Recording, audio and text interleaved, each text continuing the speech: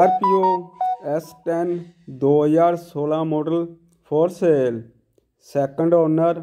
95000 kilometre ਦਾ ਨਹੀਂਗਾ ਤੇ ਗੱਡੀ ਦਾ ਰੇਟ 11 ਲੱਖ ਰੁਪਇਆ ਡਿਮਾਂਡ ਥੈਂਕ ਯੂ